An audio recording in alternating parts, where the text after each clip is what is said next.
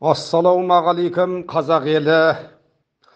Нұрхан сұлтанбайұлы сәменбет тұран даласы түркістан аймағы шымкент шаһарынан. Бүгін қыркүйектің 13 жұлдызы 2022 жыл.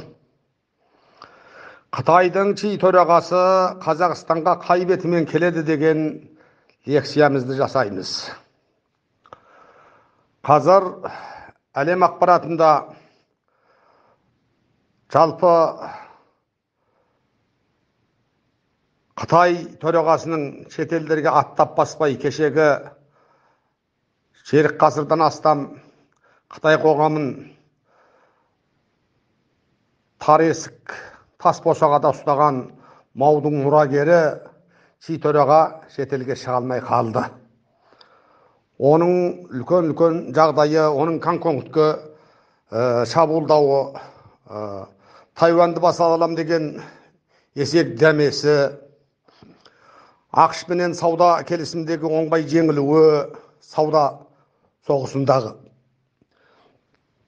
және бір жол бір белдеу деген ұранменен әлемді жаулап алу ойыменен соңғы кездегі 2016-тан бері тіпті одан арыда ә, мешіттерден компартия мүшелерін мүше емес кәдірлердің бәрін айт намаздарына құрбан айт ораза айт намаздарынан немесе бес уақыт намаздардан мешіттерден шектеуге дейін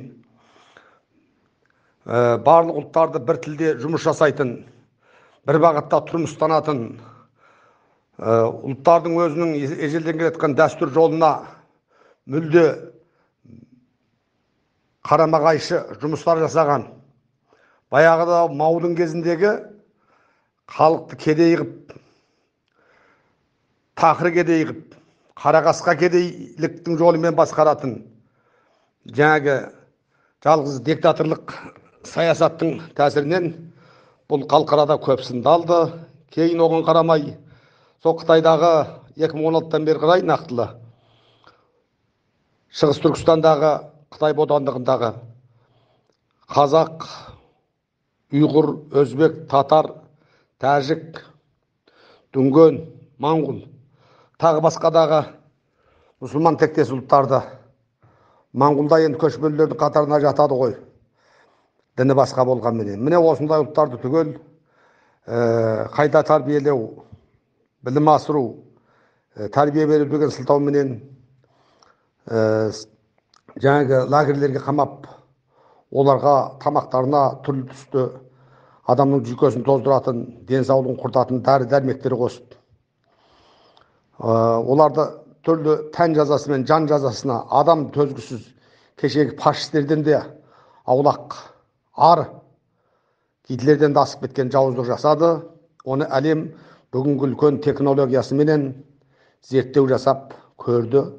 Қазіргі заманда 21 ғасырда ешкім бір мемлекет әлемнен ешқандай жасырын бір нәрсе істей алмайды бірақ қытай ежелден қанына сіңген тамсыздықпен залымдықпен зұлымдығын жалғастыра берді сонымен әлемнің алдында қытай билігінің ши төрағаның және оның төңірегіндегілердің әлем алдында бет қалмады беттері түйенің табанынан, табанынан да ары есектің тұяғы ұсап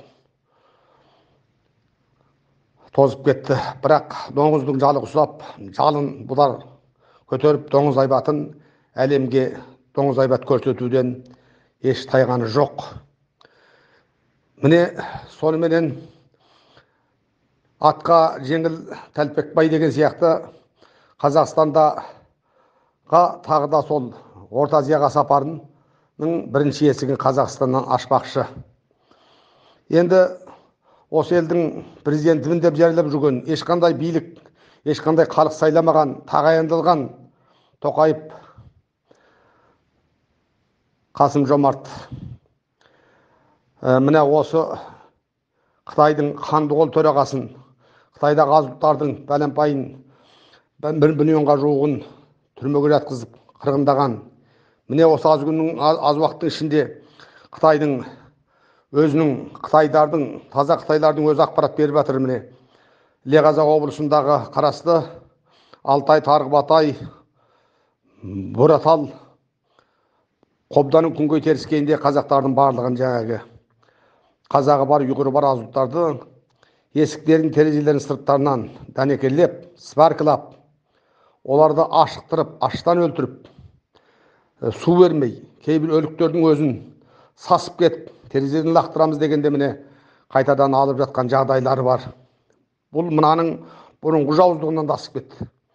Ал сонда қытайдағы 5 миллион қазақтың басына осындай әңгір ойнатып қанды қолын қолын қанды қол шитөреға қазақстаннан бастамақ. Ал енді осындай өзінің қазақ диаспорасын яғни бес миллионға жуық қазақты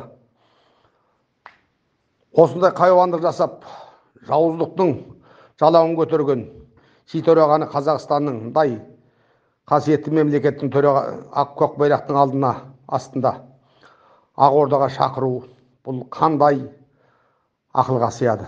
Менше болғанда бұл үлкен намыссыздық.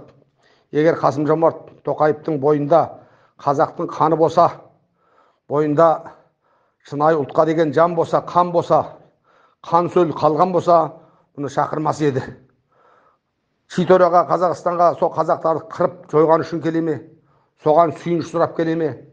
Неліктен қазақстанда бұл жұмысты бастайды? Қазақстаннан оған қалай қасым жомарт тоқаев жол беріп отыр?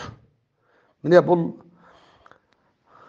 орыс пенен қытай билігінің қас қабағын баққан қасым жомарттың бүгінгі өте мүшкіл аянышты жағдайы деу керек. Біздің бұл ақордадағылардың ешқандай қазақ мемлекетінің болашағына бүгініне ертеңіне жаны ашыған жағдай жоқ. Бұлар өздерінің ұпайы түгел болса болды. Өздерінің саудалары саяси және экономикалық саудалары жүрсе болды. Бұған қазақ елінің тағдыры қазақ елінің тарихы қазақтардың жағдайы бұларды қызықтырмайды.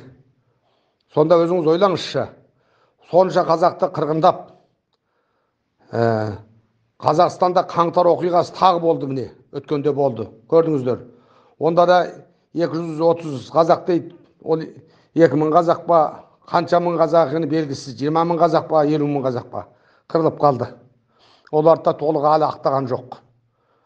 Міне осындай ішкі сыртқы жағдайда ә, қытайдың ши төрағасын шақыру қандай ақылға сыяды бұл?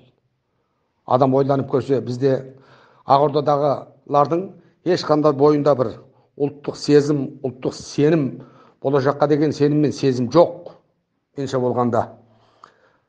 Мына қытайдың ши төрағасы қай бетімен қазақстанға келіп шіреніп келе жатыр?